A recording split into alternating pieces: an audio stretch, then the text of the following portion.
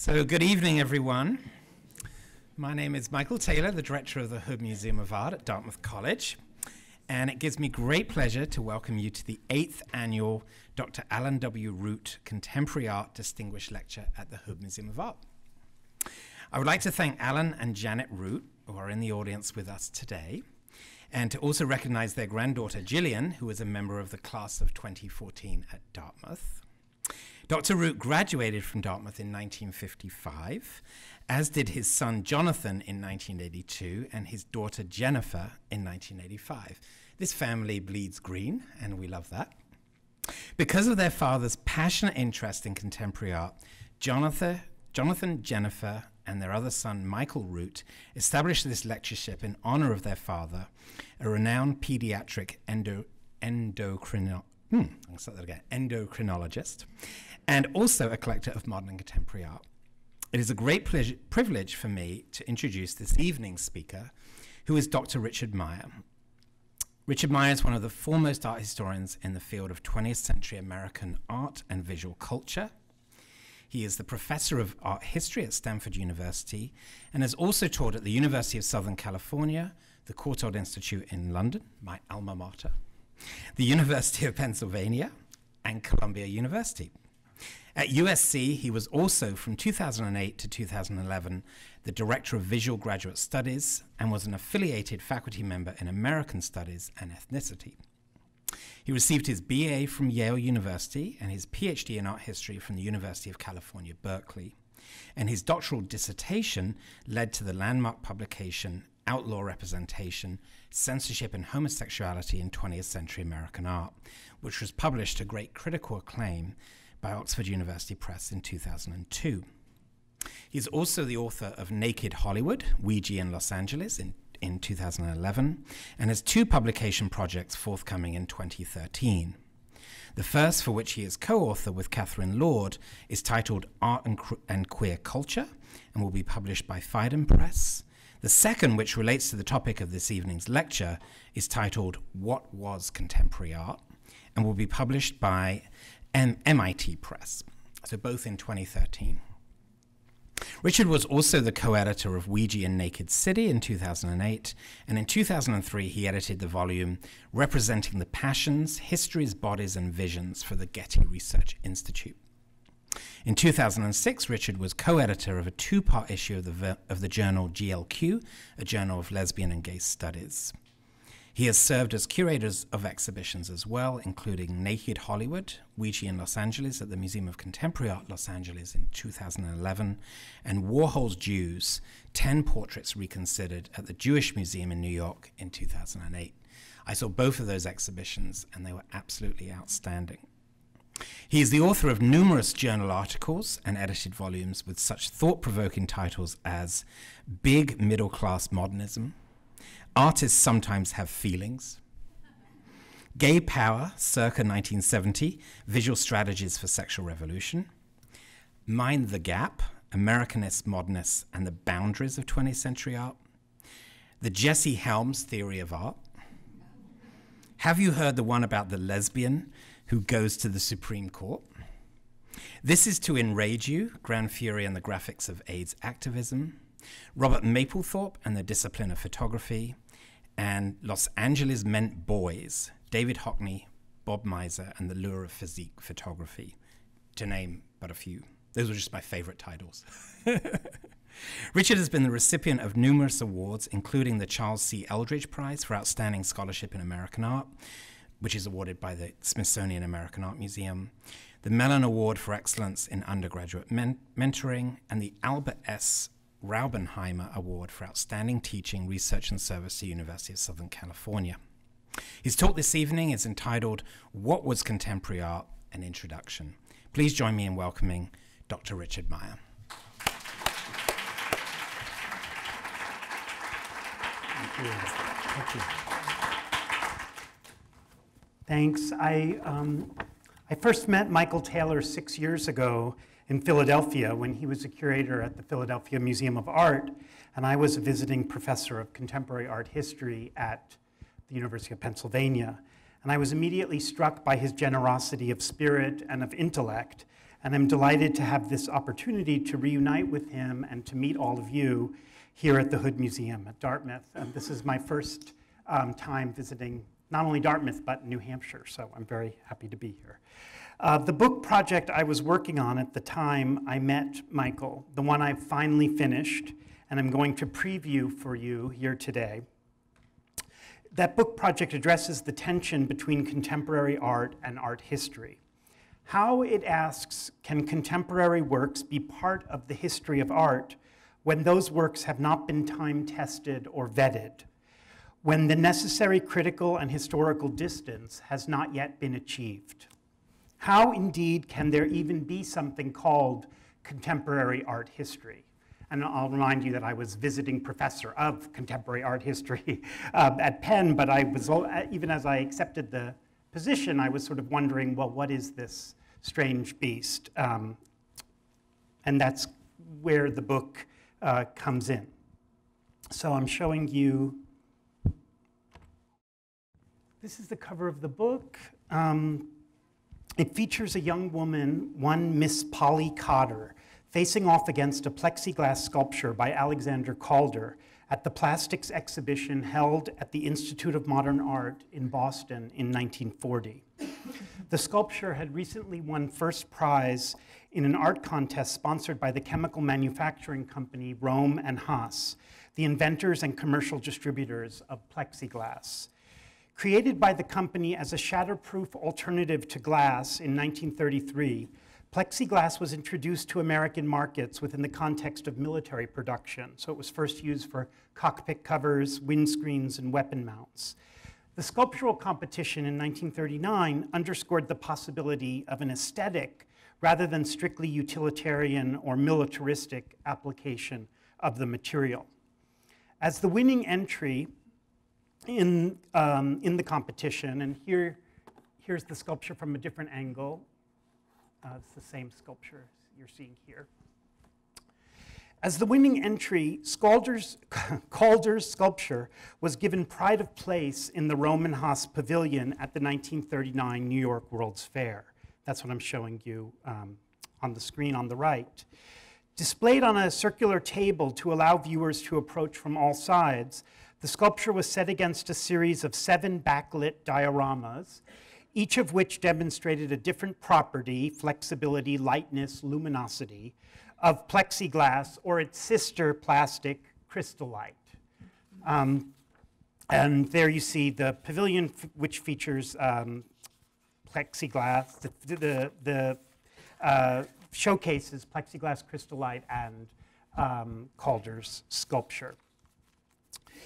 In their very datedness, the picture of Polly Cotter from 1940 and the Rohm and Haas Pavilion from the World's Fair in 1939, in their very datedness, these pictures recall that the category of contemporary art is not a new one. All works of art were once contemporary to the artist and culture that produced them. Part of the task of the art historian, then, is to retrieve a vivid sense of the world into which an artwork was introduced, and so to measure the distance between its contemporary moment and the scholar's own. Between, say, um, 1939, when plexiglass had only recently been introduced and was still kind of a marvel of a material, and today. Um, our return to the past must acknowledge the impossibility of forging a comprehensive account of the artwork as it really was, while nevertheless attending to the specificity and heft of history. By asking what was contemporary art, I do not mean to suggest that contemporary art is now over or that we have arrived at a post contemporary moment of cultural production, which some have suggested. Rather, I mean to retrieve selected episodes in the history of once current art so as to reclaim the contemporary as a condition of being alive to and alongside other moments, artists, and objects. So something like what we now call contemporaneous, that is, existing along with or alongside, alive at the same moment as. Today, I want to share with you an excerpt from the book's introduction and a brief sketch of its principal chapters. And I'm giving fair warning that we'll be jumping around quite a bit between different art historical examples and contexts. Um, one of those contexts, which I've just briefly introduced to you, is the plastics exhibition at the Institute of Modern Art in 1940. Um, the Institute of Modern Art, which to great controversy would rename itself the Institute of Contemporary Art in 1948. And there's a chapter of the book that looks at that controversy and through that controversy looks back at the history of the Institute of Contemporary slash Modern Art. Um, in the book's introduction, which I'm going to turn to now, I seek to explain how and when contemporary art emerged as part of the discipline of art history. And in doing so, I revisit the doctoral thesis of a now eminent art historian. The introduction is called The Art Historical Post Mortem. In so here's, this is an excerpt from the introduction. In 1969, a young woman named Rosalind Krauss filed a dissertation in the Department of Fine Arts at Harvard University. Fifteen years later, after she had emerged as one of the leading critical and art historical thinkers of her generation, Krauss would explain the unorthodox means by which she had chosen her dissertation topic. And here is a quote, long quote from Rosalind Krauss. I was, in fact, thinking of a topic in 19th century European art that would have been much more palatable to my professors at Harvard. But it was going to be difficult for me to go to France for a year in the middle of this marriage. She had recently wed uh, Richard Krauss. I didn't know what to do until one morning I woke up to an announcement on my clock radio that a sculptor had been killed in Vermont. I thought it was Tony Caro because they said Bennington, Vermont, where he was teaching. I thought, oh, how terrible, because I knew Tony. Then, after a couple of sentences, they repeated the name, and I realized it was David Smith. I thought, um, I now have a thesis topic. I knew they would never allow me to do a dissertation on someone who was alive, but he had just died. I went rushing to Harvard to announce this as my topic. End quote. Within the logic of this anecdote, the shift from the imagined death of Anthony Caro to the actual one of David Smith constitutes a passage from personal loss to professional opportunity, from the register of friendship to that of scholarship, from the terrible thought that a sculptor Krauss knew firsthand had perished to the recognition of the use value of an entirely different sculptor's demise. Death here delivers the artist into history, or at least into the history of art.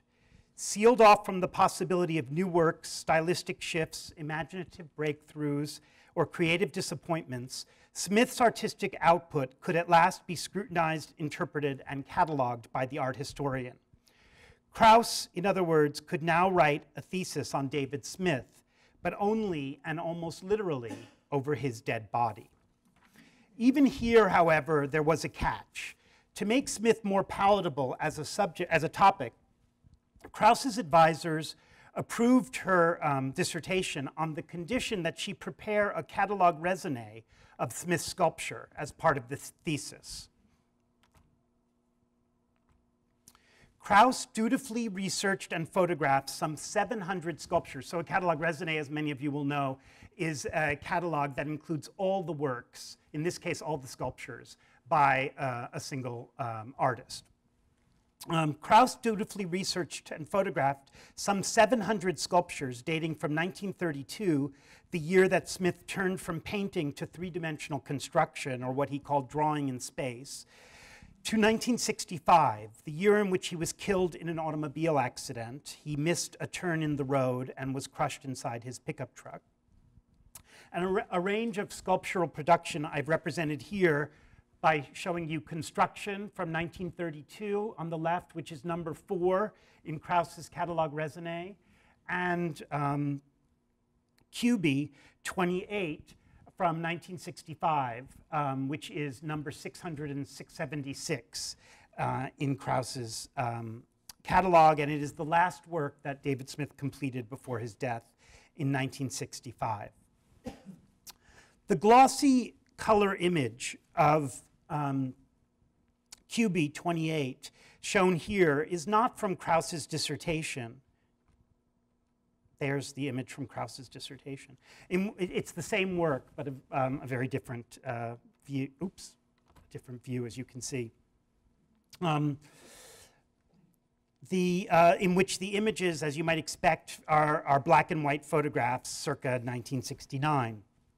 But the image on the left is from the catalog of Sotheby's sale of contemporary art held in New York City on the evening of Wednesday, November 9th, 2005. Cubi 28, also known that evening as Lot 23, sold for $23.8 million to the dealer Larry Gagosian, who was himself bidding on behalf of the collector Eli Broad.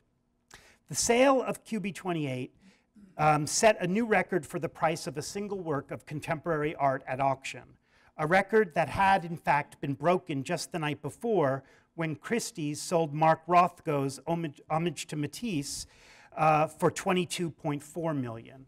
So Homage to Matisse only held the record for less than a day because the ne very next day, um, Smith's Cubi 28 um, broke the record.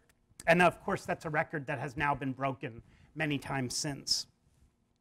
Though Rothko had been dead for 35 years and Smith for 40 by the time these records were set, the prices paid for each man's work in 2005 raised the bar for the secondary market in post war painting and sculpture.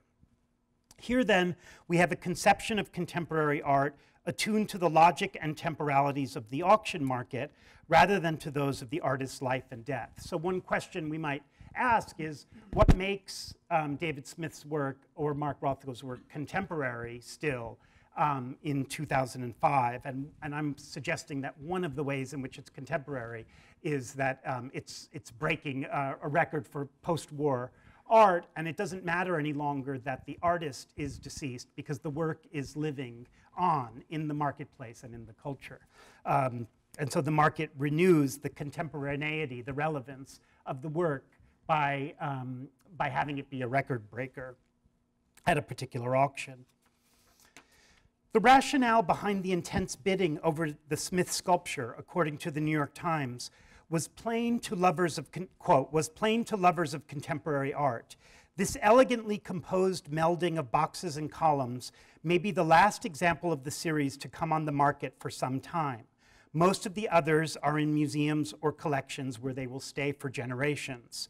So this last chance opportunity was irresistible, which is why the sculpture's final price was nearly double its high estimate of $12 million.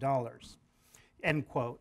The last sculpture completed by Smith before his accidental death in 1965 thus becomes 40 years later the last of its highly prized series available for private purchase.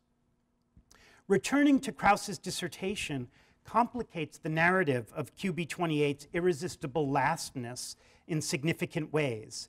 For as it turns out, Smith's physical death did not mark the, the endpoint of his artistic production. Krauss's catalog includes eight sculptures that were begun by Smith but completed posthumously by Leon Pratt, the artist's close associate and welder during the seven years before Smith's death. Krauss steps outside, when, when the catalog reaches these works, Krauss steps outside her own sequential system by designating them not with consecutive numbers, but with letters, posthumous A through H. So I'm showing you from 1966 when they were completed, the year after Smith's death. I'm showing you posthumous E, F, G, and H from Krauss's dissertation. I just have, ooh, I just have to get my water, sorry speaking of the needs of the living. Um,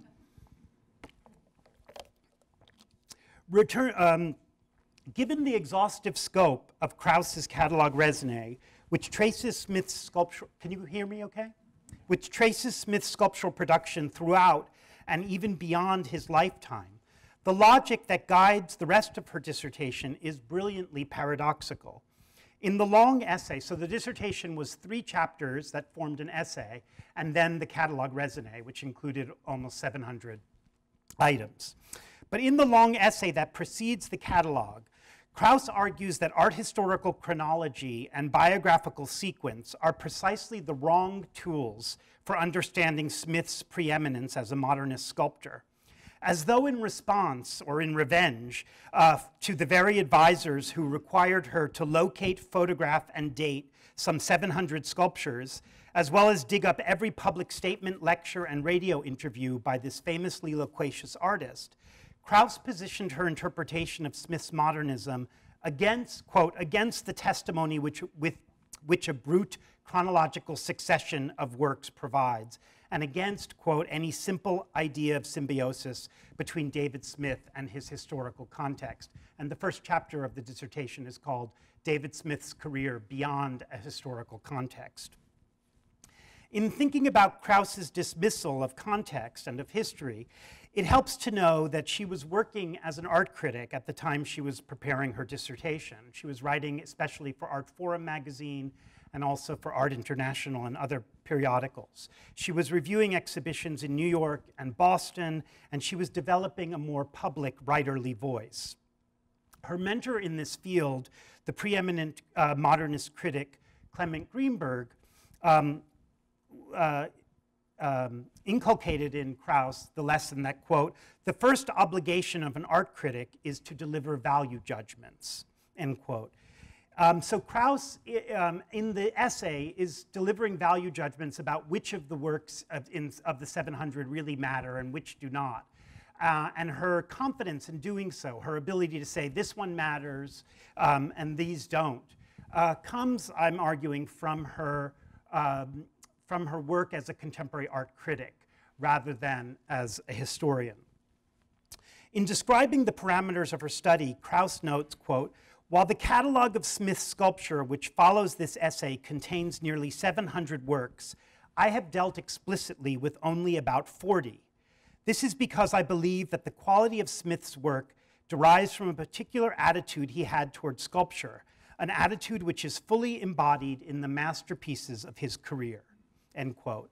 Note the self assurance of Krauss's critical voice in this passage, the certainty with which she adjudicates and separates the 40 masterpieces of Smith's sculptural output from the remainder of his career. And by the way, Cubi 28 would be one of those masterpieces for Krauss. Construction and uh, is not, and none of the posthumous works are, are among the 40. For Krauss, Smith's best sculptures exemplify how certain, quote, certain objects or occurrences detach themselves from their historical background and strike the scholar with their overwhelming importance. So it's literally as though the object, in its importance as an object, as a perceptual and visual experience of the viewer, in this case the scholar, the object detaches itself from history. It, it, it, it breaks off from its historical surround and becomes this instantaneous and almost overwhelming visual and, and phenomenological experience that the scholar has to try to explain. With such statements, we see art history moving away from comprehensive cataloging towards critical accounts of selected artworks, away from the 700 toward ever closer readings of the 40. Um, in Krauss's writing, as in that of other leading figures in the field, the present tense encounter between object and scholar increasingly came to take precedence over the brute chronological succession of artworks and the monographic logic of biography. And one of the ways in which this was most manifest was that later Krauss's essay was published itself as a book called Terminal Ironworks, The Sculpture of David Smith. That was one book that she published, her first book.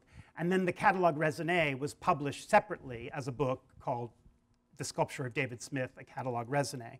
So we could see art criticism um, and art history sort of breaking apart, and the Catalogue Raisonné, an older version of what the task of art history would be, um, uh, published as its own um, entity, and Terminal Ironworks, an art critical um, version of art history, again, uh, standing on its own as a book from MIT Press. With Krauss's dissertation essay on David Smith, we see art history becoming criticism, and we see art history becoming contemporary. As the dissertations I now advise attest, artists no longer need to be dead or even very old to be the subject of intensive scholarly analysis.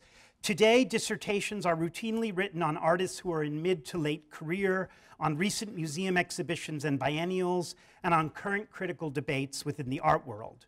Tenured and tenure track jobs are posted for historians of contemporary art, and endowed chairs have been established in the field.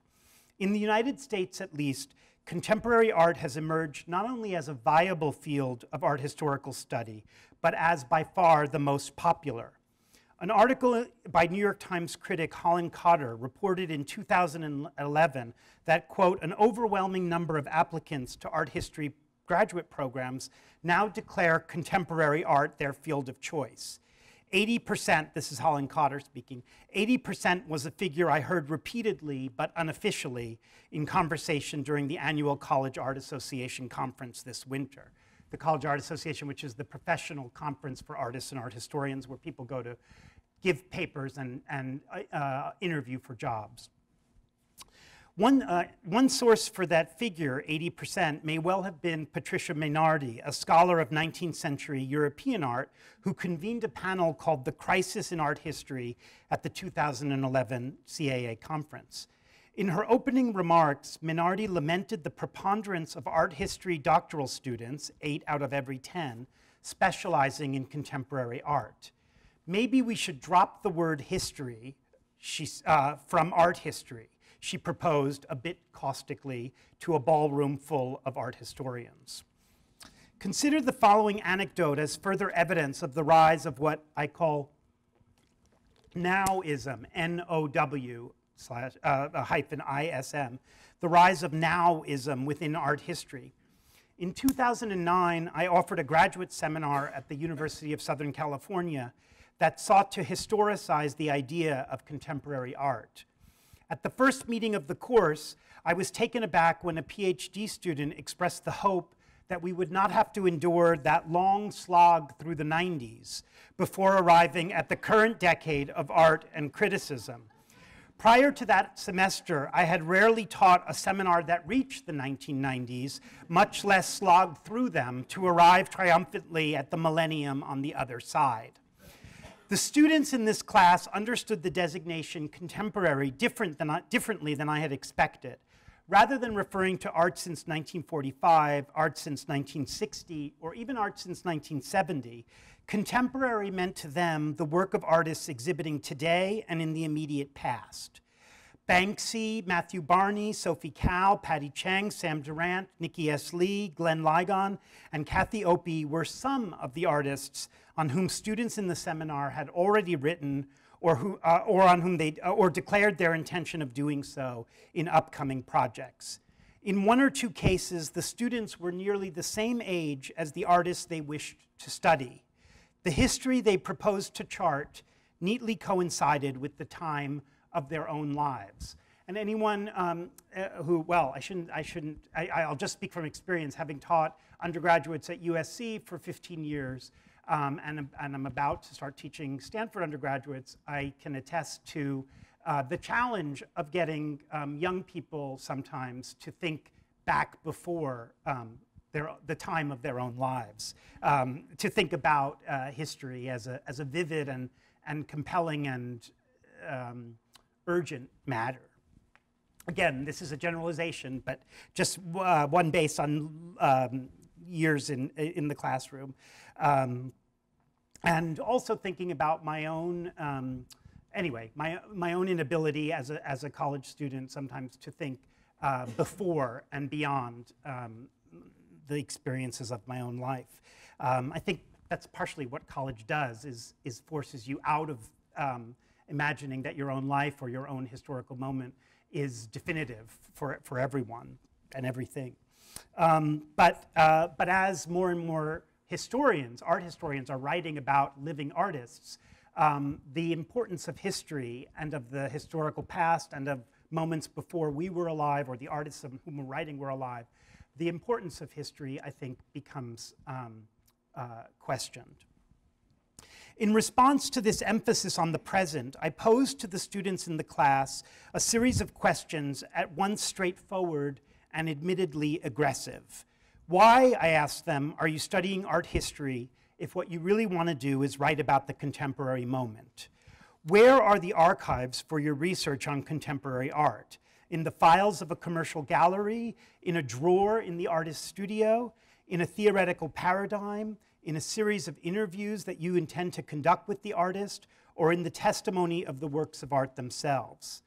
What, if anything, distinguishes your practice as a historian of contemporary art from that of an art critic? And this goes back to Krauss and her bringing of criticism into art history. And finally, how does the history of art matter to the works you plan to write about and to the scholarly contribution you hope to make? One student, and this was not the 90s slogger, but another student in the class, effectively redirected these questions to me. During her admissions interview the previous year, she recalled, faculty had emphasized the close association of the doctoral program in art history with contemporary art museums, curators, and artists, as well as its location in an international center of early 21st century art, namely Los Angeles. Since the contemporary had been used as a device to attract graduate students to the program, she reasoned, perhaps it was the professor, rather than those very students, who should define and defend the relation between contemporary art and art history. So she was basically asking, why are you putting these questions to us when we've been promised that this program um, will enjoy such close ties to the contemporary art world and to what's going on right now. So in effect, you, you're promising us that we're going to be contemporary by studying art history. Um, and in retrospect, I realized that she was right. If graduate students and emerging scholars now take contemporary art for granted as an area of specialization, it is because the discipline of art history invites them to do so. When I started graduate school in 1988, no such invitation was forthcoming. It was understood that modernists, like everyone else in the program, medievalists, classicists, early modernists, Americanists, Asianists, worked on historical artists, issues, and objects. It might have been conceivable for a modernist to study the early work of a living artist who had reached a certain golden age, in that case, however, the work at issue would have been old enough for sufficient historical distance, say about 40 years, to have been, to have been uh, achieved. None of these ground rules were spoken aloud, nor did they need to be. At the time, there were no professional societies for historians of contemporary art, nor were there tenure track jobs in the field to which one might aspire. Had someone proposed the practice of something called contemporary art history, I could only have understood it as an oxymoron. Somewhere along the line, sometime perhaps in the long 1990s, things changed. The discipline of art history embraced the work of living artists. What was contemporary art? This book is an attempt to reckon with that shift, but it is also an effort to grapple with the broader dialogue between contemporary art and the historical past. In doing so, it draws on the semantic fact that contemporary has not always signified a quality of being up to date, current, or extremely recent, the way we tend to think of contemporary now as the most recent and current of uh, art forms and that which comes after the period coming after the modern. Often contemporary art nowadays is periodized as beginning, say, in 1989 with the rise of the internet, the fall, uh, the, the end of uh, communism, um, uh, the, the, the, certain kinds of interactive, I mentioned interactive technologies and the rise of globalization. Um, but I'm interested in a, a, different idea of the contemporary, one, an, an older idea. The very first definition of the word in the Oxford English Dictionary, for example, uh, is as follows. Contemporary is defined as belonging to the same time, age, or period, living, existing, or occurring together in time. So it is a word that conveys coexistence rather than newness. According to the entry in the OED, the variant co-temporary was in usage during the 17th and 18th centuries and became so popular as to almost expel contemporary from use. Although the preference for co-temporary faded relatively quickly, this antiquated synonym is a useful reminder that contemporary is at its core a relational condition. It takes two, in other words, to be contemporary. Consider in this context the title of a book published in 1907, Randall Davies' English Society of the 18th Century in Contemporary Art, which focuses on art that portrays British society in the 1700s, not on art contemporary to Davies' own moment of writing, which was 1907, or on works that conveyed any particularly modern quality or spirit of innovation. Society for Davies meant the elite, so capital S society, of British aristocracy, as represented, for example, by a watercolor drawing of Queen Charlotte and the Princess Royal, a mezzotint of, uh, after a painted portrait of Mary Somerset, Duchess of Ormond, or a cut paper silhouette of a patrician family in their drawing room. And I'm showing you some of the works that Davies studies in um, uh, English society of the 18th century and contemporary art. Um, so obviously, contemporary art uh, is contemporary to the 18th century, not um, to Davies' own moment. For Davies and his contemporaries in 1907, modern was a property of work that was original, progressive, and forward looking, of art that was not so much of its time as ahead of it. Contemporary, by contrast, described a neutral condition of temporal coexistence between two or more entities. While a portrait of the Duchess of Ormond, or attended by an African child servant, was contemporary to 18th century British society, few in 1907 would have called it modern in the sense of being progressive or forward looking. Even here, however, the matter of what constitutes contemporary art does not remain straight, necessarily remain straightforward. The 18th century silhouette by, by Thenard, published by Davies in 1907, cannot help but look contemporary to viewers in 2012 who share a prior knowledge of the work of the living American artist Kara Walker. I'm showing you a work by Kara Walker from 2000 on the right. In, in pieces such as Insurrection, our tools were rudimentary, yet we pressed on. Walker draws upon a history of cut paper silhouettes extending back to the late 17th century, even as she introduces bodies, gestures, and terrors never before visible in that history.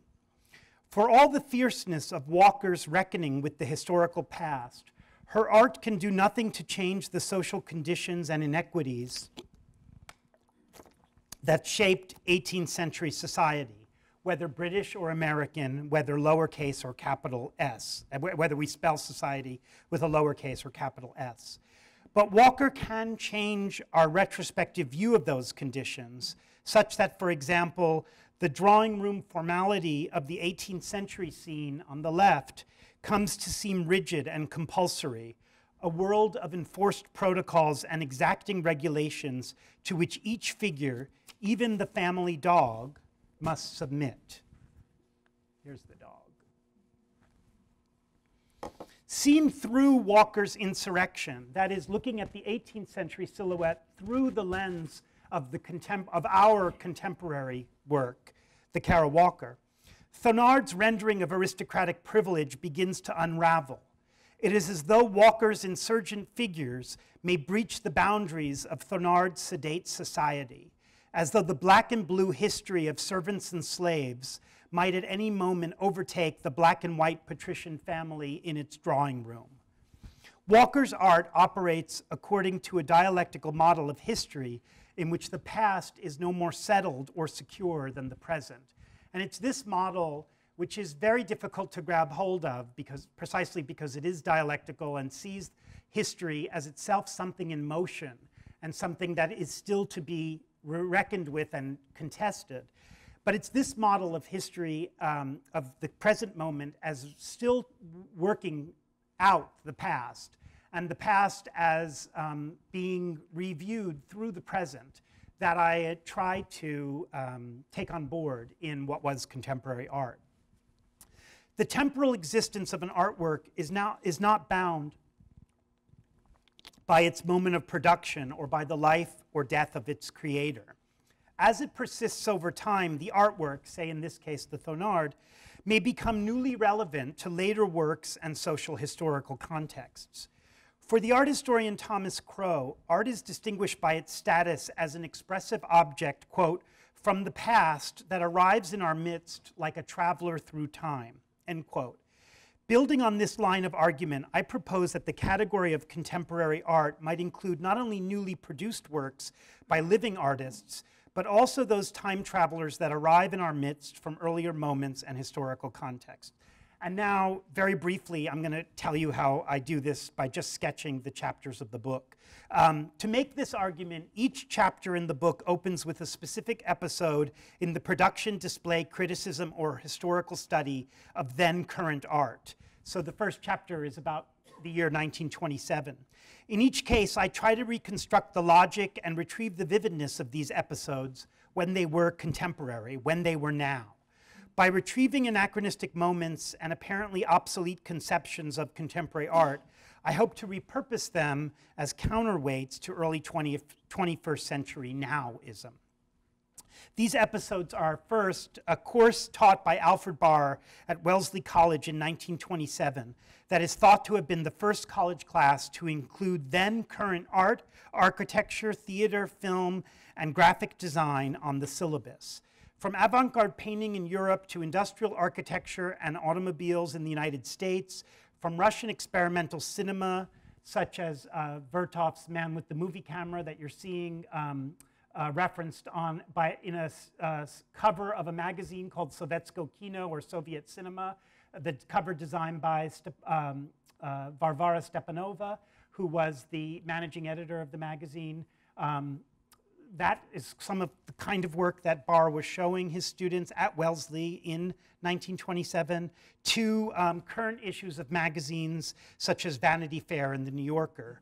Um, the course took the art and culture of its own moment as both subject matter and inspiration. And in a way, Barr's 1927 course at Wellesley College becomes the inspiration, uh, became the inspiration for what was contemporary art because um, of the ways in which he was making vivid the culture of the student's own moment. He actually designated all the students in the class as faculty because he said they were all going to teach each other as well as himself about what was going on at that very moment. So th this first chapter examines the iconoclastic pedagogy and experimental sense of modernity that shaped Barr's unprecedented class. The second chapter charts a highly selective path through the curatorial program of, I'm sorry, chapter three, uh, through the curatorial program of MoMA under Barr's directorship. And it looks in particular detail at the ways in which several exhibitions of pre-modern art, including Persian frescoes, prehistoric rock pictures of Europe and Africa, which I'm showing you an installation shot from here, and Italian masters, uh, were positioned in relation to early 20th century art at the time. So what you're looking at, this is a show that was at the Museum of Modern Art, and what you're seeing are full-scale painted, whoa, oops, what you were seeing, and uh, here's our, our, contemporary technology intervening, um, but in a moment it will return, or should I do it? There we go. Um, these are, these are works, in a sense, of contemporary art. They were made by living artists who went on expedition with um, archaeologists to, oh, throughout Africa and, and Europe. Um, and on site, they made um, drawings that, um, that were the basis for these um, watercolor renderings that are to the scale of the actual prehistoric uh, cave paintings. Um, so when you um, went into MoMA, you were meant to think that you were seeing, you were meant to experience the prehistoric art uh, as, as, as, it, as, it exists, as it existed in prehistory, but also as a modern rediscovery of the prehistoric past. And what you were looking at was works by artists who were contemporary, even though they were unnamed as individual artists, but the copyists who made these facsimiles, contemporary to Matisse and Masson and the other artists who were on display at MoMA. Um, and then finally, the last chapter um, considers the surprisingly bitter controversy sparked by the decision of the Institute of Modern Art, and you'll remember that in Boston, uh, who housed, among many other exhibits, the plastics exhibition, the decision of the Institute of Modern Art to change its name to the Institute of Contemporary Art in 1948.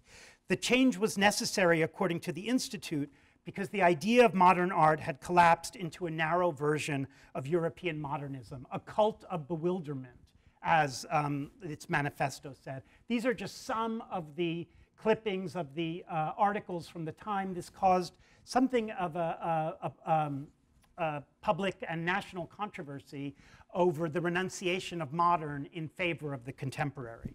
And so the last chapter looks at that um, controversy and tries to reconstruct the, symbol the symbolic and political stakes of the modern contemporary divide at mid century. Having sketched the book's chapters, I want to conclude now by reading something from its afterword, which is called Not Now.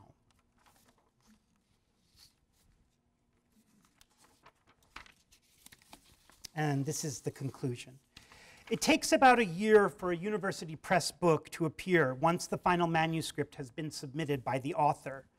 Given this, when writing what was contemporary art, I knew that it would be at least 12 months out of date by the time it was published. Rather than regretting this delay, I have come to view it as a metaphor for the necessity of falling behind the times, for the importance of losing step with the ever advancing march and marketing of contemporary art. By one recent accounting, there are now more than 100 biennial exhibitions of contemporary art across the globe, from Sao Paulo to Seoul to Sharjah, with one almost every 10 days on average. The art market has never been more genuinely global or more massively capitalized than it is today. In researching this book, I attended versions of the Venice Biennale, the Whitney Biennial, the Athens Biennial, Documenta, and Art Basel Miami, as well as various satellite events and expositions, including the 2007 Art Now Fair in Miami Beach, which I'm showing you the banners from. And by the way, those biennials that I just mentioned, uh, the ones that I went to, th that's hardly a patch on the itinerary, say, of uh, contemporary art curators, uh, museum directors, collectors who go to many, many more of these 100 biennials um, in a year, uh, 100 biennials a year than, than I did. It soon became clear to me that trying to keep up with the pace of the contemporary art world was a practical impossibility, not least because I lacked the financial resources to do so. Archival research, critical thinking, the crafting of book length projects, these tasks do not lend themselves to the tempo or logic of art now. In writing contemporary art history, it may therefore be necessary, paradoxically, to lag behind the time of the contemporary art world, behind the latest biennial opening, artist project, or blog posting. In 2012, that is right now, the culture of contemporary art seems to be burning more intensely than ever. But the glare of nowism, of uh, the current International Art Fair e-flux posting, Hot Young Artist, and Auction House record can be fairly blinding. The spectacular immediacy of the contemporary art world threatens to overwhelm our ability to think critically about the relation of the current moment to the past. All art has been contemporary, reads Maurizio Nannucci's 2010 neon sculpture at the Boston Museum of Fine Arts. To make that glowing text into more than a truism, we need to recognize that all historical art was once current and that all contemporary art will soon be historical. We also need to grapple with how the art of the past informs and reconfigures the current moment. We need, that is to say, to grapple not only with the fast moving art world of our own time, but also with the living history of once contemporary artists and artworks, with a past that should not be permitted to pass away. Thank you very much.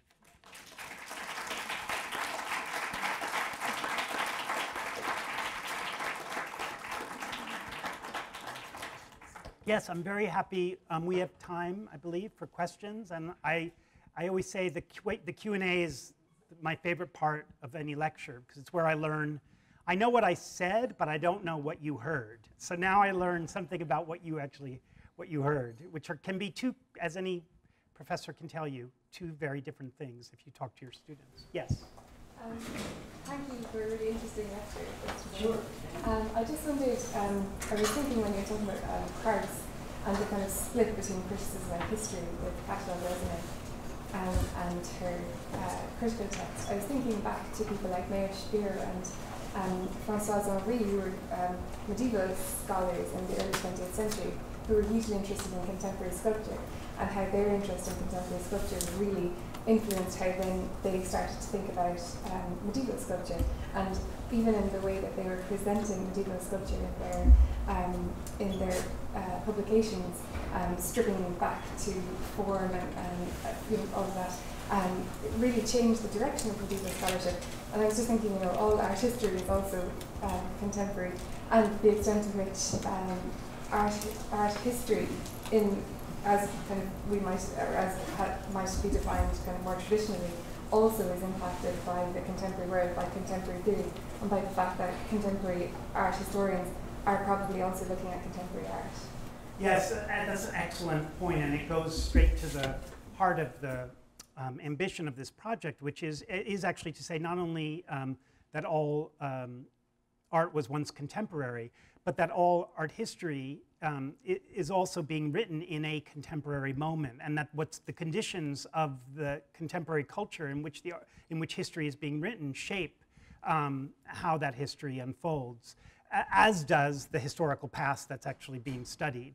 So I don't want to say that it's completely, um, uh, uh, that the contemporary moment determines history, but that we have to understand the writing of history, including of art history, as a kind of dialectic between um, the object of study, the historical moment under um, scrutiny, and the moment of the, of the scholar's own um, practice. Uh, and I think that, um, and contemporary art is really useful because to do this, because many, or what was contemporary art at the, at the moment the historian is writing, because although some art historians have been very uh, antipathetic to their own moment in contemporary art, many others, as you mentioned, have um, also actually written art criticism as they were doing, or as a sidelight to their art history, or uh, collected or were friends with contemporary artists or certainly were, were open to the energy, to the visual culture of, contemporary, of the contemporary art of their, of their times. And I think that um, it's very exciting when we think about art history through this double lens, through the lens of the moment that the art history is looking at, but also the moment of the art historian's own life. Yes. I was wondering if you could say a bit about the relationship between the art market for contemporary art and the subject that you're talking about. Because yeah. you would, it's natural to think that there is a parallel between the students in your graduate seminar, you know, wanting to get through the 90s as soon as possible and the sort of explosion of the contemporary art market in recent years. Yeah, and I think that that's, that's absolutely true. And um, one of the things that's happened, I mean, and why I meant part of the reason I mentioned our, the record auction house records, and is that I think that the the art world is bigger. I mean, the global art world. There are there are more museums, for example, of contemporary art than there have ever been um, before, and even the whole invention of something called a Museum of Contemporary Art after coming after or the Institute of Contemporary Art. And one of the things I didn't mention was the reason why they called themselves an Institute of Contemporary Art was because they were going to be a place for research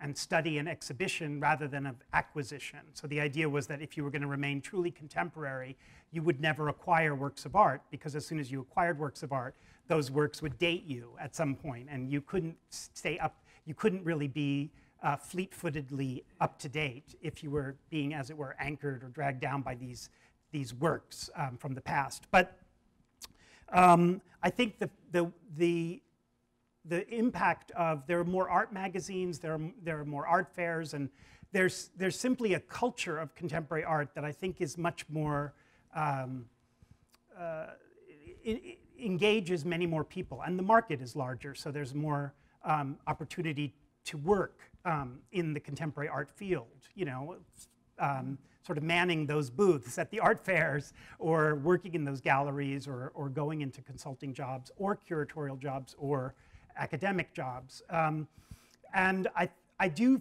feel that the market has rendered contemporary art more um, palpable and uh, kind of more maybe um,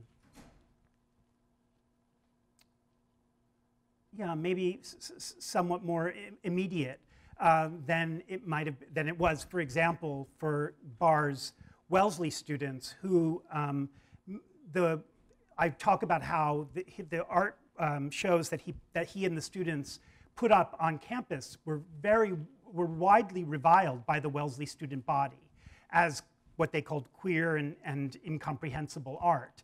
Uh, so I don't think in 1927 that um, an educated young woman or man, for that matter, would have necessarily been expected to have uh, a knowledge or interest in contemporary art, in the contemporary art of their own moment. Whereas it seems to me today um, that part of the idea of being a educated young person is having a very is having some knowledge of the of contemporary culture and including one's own contemporary moment. I would also say that I think that it's not only in art history that things have become more contemporary, but also in the, the, rise of a field like cultural studies, which is so much about contemporary popular culture, the um, interest in um, non-canonical or counter-canonical works. Um, uh, I, think so in some, or popular works. So something like the way in which in literary, in English departments, you might study the romance novel um, nowadays. Uh, I, I, think that we've seen like a turn toward the contemporary kind of across um, uh, the humanities. And I think that the art market, the growth of the art market sort of um, uh, amplifies what was already um, happening, you know, kind of within art history. That is, things becoming more current um, and then become even more publicized and maybe also more attractive once people see how vibrant the market and how global the market is. But I don't think this is something only, uh, this turn toward the contemporary or this tendency toward nowism, I, I do think is related to other developments um, besides the market, to intellectual developments and critiques. Yes, in the back. I mean, you were talking earlier about sort of an avant-garde being ahead of the curve in relationship to the modern. And um, is it, you know, these days when there's a commodification of the, the now, is there a possibility for there to be an avant-garde? Do, do avant-gardes immediately get commodified the they happen? Well, I think there's an open question as to whether the contemporary art world um, still is operating according to a model of the avant-garde or what model of the avant-garde, you know, it, it's operating um, with. Because um, so this notion that the artist or is going to be out front or is going to be a sort of advance guard, um, an explorer, or uh, uh, um, you know is going to sort of bravely risk or go where where art has not gone before. Um, I'm not, that's one model of the avant-garde. I'm not sure that that obtains in the same way.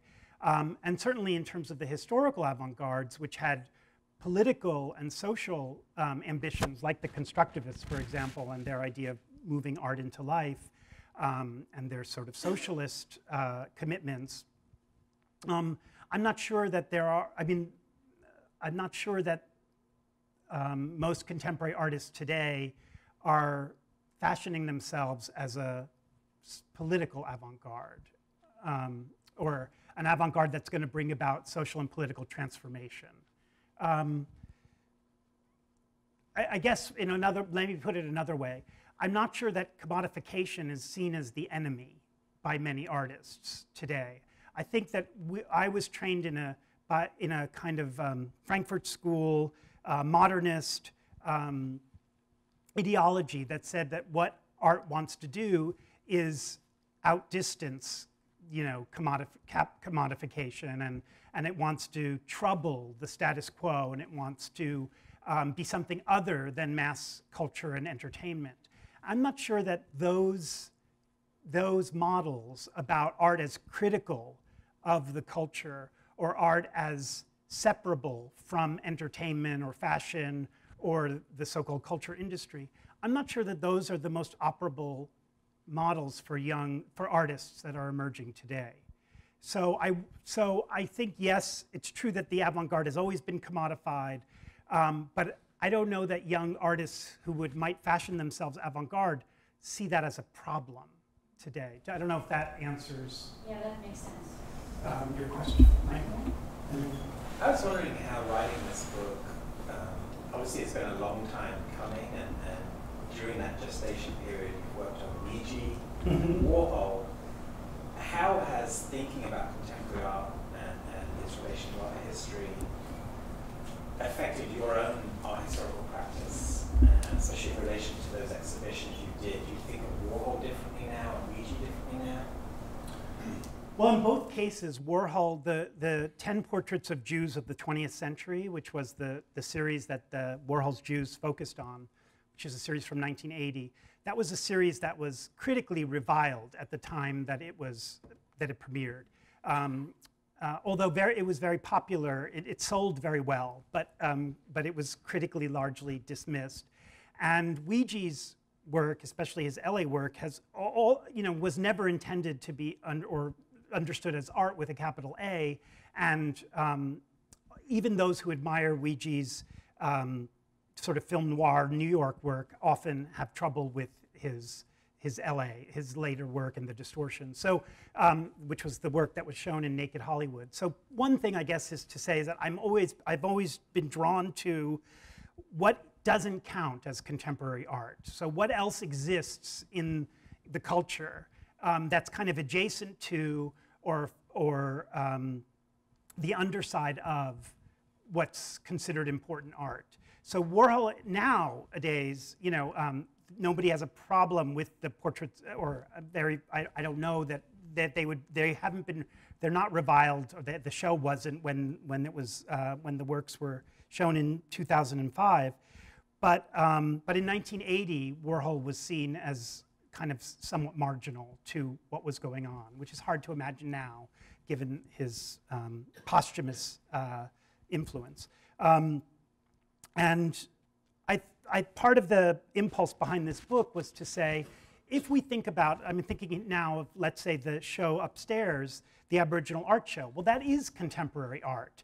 But so often contemporary art is, is um, identified as only what a certain um, international art market or art world is, is writing about or looking at or, or uh, acquiring, you know, and we don't see, let's say, um, other kinds of art that are being produced right now or craft um, or um, art being produced outside of major cities or not in dialogue with what's happening in, in Artforum magazine, we don't really see, grant those the quality of being fully contemporary. It's as though somehow, um, you know, um, Matthew Barney or whomever you might choose is more contemporary than um, artists who don't get written about and part or or, or purchased or, or seen at art fairs or biennials this, to the same extent. And part of what I wanted to do in the book was to say, look, there's always been all of these multiple art worlds, these multiple contemporaries. And if we think about contemporary art as always being as a category where art is alive alongside other works of art and, and artists and viewers are alive in a certain moment that they share with others, that that could help us to see things as part of the history of art that haven't been granted that um, value in the past. And I'll, I'll, just say one last thing about that. Um, you know, one of the real reservations that I had was, well, what does it mean to put Weegee These are um, uh, photographs basically by a tabloid photographer, by a, by a crime photographer um, who really made his name as a photojournalist um, and then came out to LA to kind of try to become a celebrity, and that didn't work out so well for him. But um, one of the issues I had was, uh, was thinking about what does it mean to put these works, these photographs, which weren't intended to be art, in the Museum of Contemporary Art. So now to place what wasn't art in its own historical moment in conversation. And one of the things, one of the ways in which I explained that to myself was it turned out that Cindy Sherman and Ed Ruscha and Laurie Simmons and Carroll Dunham were all collectors of late Weegee who lent works to the show. Um, and in, in Cindy Sherman's case, she lent a Marilyn distortion. And Weegee becomes really, in, or the, the dialogue between Sherman's work on femininity and Weegee's work on and celebrity and Weegee's work, I thought was a really interesting one, and so that Weegee could we could argue that he had an impact on contemporary art, or that nowadays contemporary art is so involved with the culture of celebrity and photography and journalism that um, it ha- that Weegee has something to say to today's contemporary moment and in art that he didn't have to say in the late 40s or early 50s. And that's also part of what I'm trying to do in this book is to say art is not only intended for its own contemporary moment, it can be revived in a later moment and become, as it were, newly relevant, newly contemporary, which is sort of why I brought the Kara Walker and the Thenard in, is to sort of say we don't know what the future is going to hold in terms of artistic um, production. And the future is going to change how we will see the past. Um, and actually, the future will help us rediscover things like, let's say, like Weegee or like late Warhol, that we thought were not part of the history of art. Does that make sense? That's a great way to end. Okay.